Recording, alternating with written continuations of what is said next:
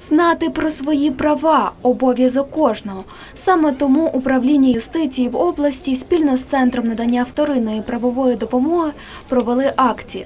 На театральному майдані можна було отримати безкоштовну юридичну консультацію. Тут розклали спеціальний намет, а на усі запитання охоче відповідали фахівці.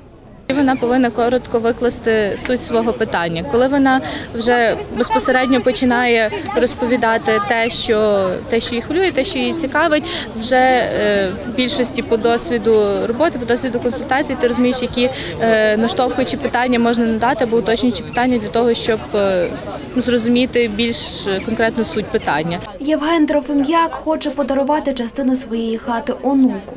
Проте не знає, як правильно це оформити, тому і вирішив проконсультуватися. Я був сільській раді, вони сказали, що не все так просто. Ну, краще через нотаріуса.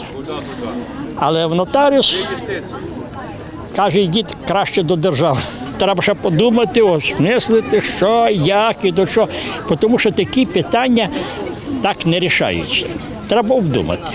Усі, хто не встиг завітати на акцію, все ж мають нагоду проконсультуватися зі спеціалістами.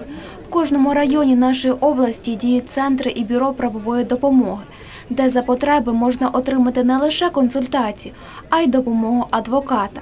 За півроку до центрів в районах цивільних і адміністративних питань уже звернулись більше 10 тисяч осіб.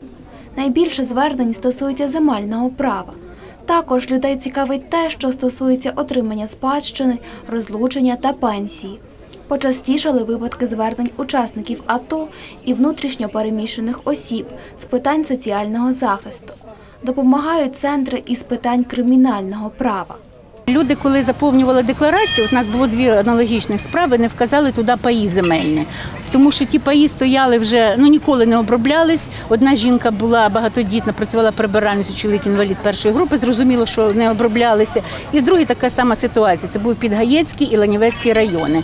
І на обох відкривали кримінальне провадження, ми залучали адвокатів. Фахівці зазначають, багатьох проблем можна було б уникнути, якби люди більше знали про свої права. Тож закликають радитись із юристами. Провести такі акції планують по всій області. Акція такого масштабу буде проводитись вперше. Е, Ми розробили чіткий графік. Хочемо відвідати кожен населений пункт нашої області. В нашій області є 461 сільська міська рада, і в кожному такому населеному пункті буде палаточка, банери, фахівці нашої служби, головного територіального управління юстиції і бюро правової допомоги. Будемо надавати виїзні консультації.